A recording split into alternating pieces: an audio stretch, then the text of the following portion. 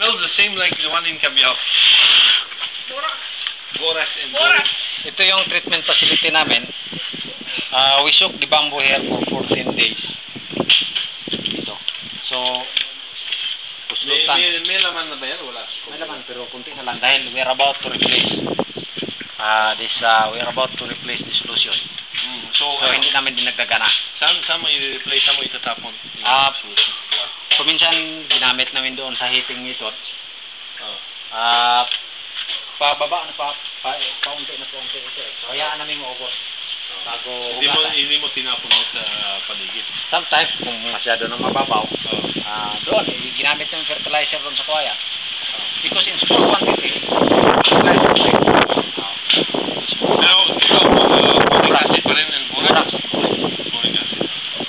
found out that na wala naman siyang masyado effect doon sa bamboo provided na na siya. Diluted.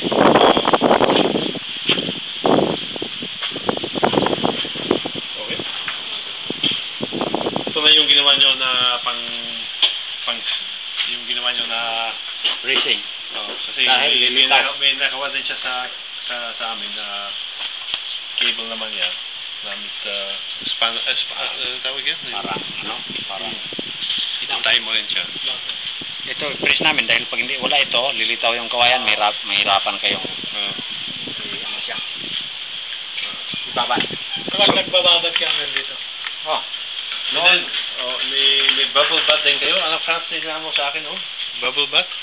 Ipalakay ka na ng, ng bubbles dito o hindi na? hindi na kinuha namin pang namin ah Hmm. dahil ang cause ng odor ng smell Ah. is uh, the multiplication of bacteria Oh. pag mayroong bubbles ito lalong magmumultiply lang ang bacteria Ah. dahil they are anaerobic types of bacteria and the smell is the one that uh, yung ipoproduce nila na parang methane ang tawag ng gas na yan So, ito na yung amoy na, na, na galing sa bacteria.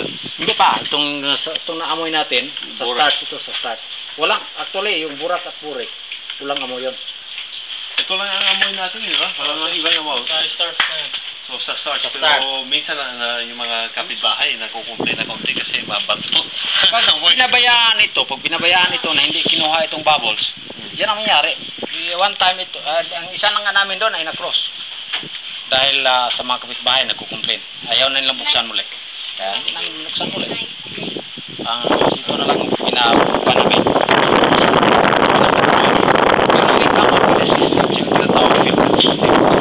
Pero may filter doon.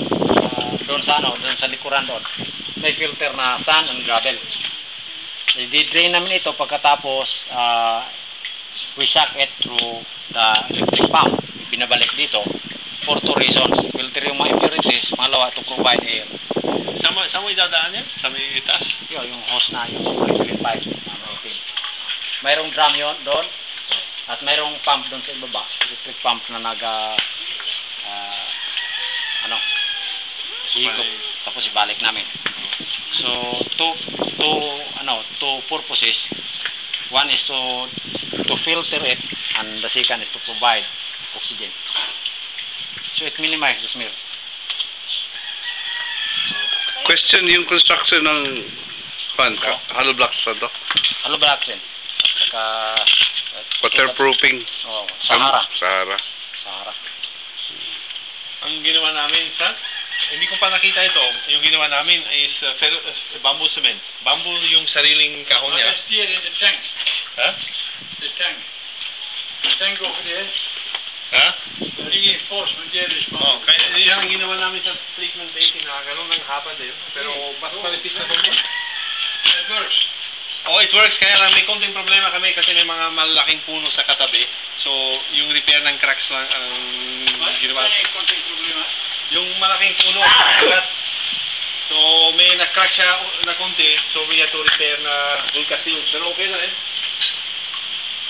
The, the bamboo you have to, you have to put kind of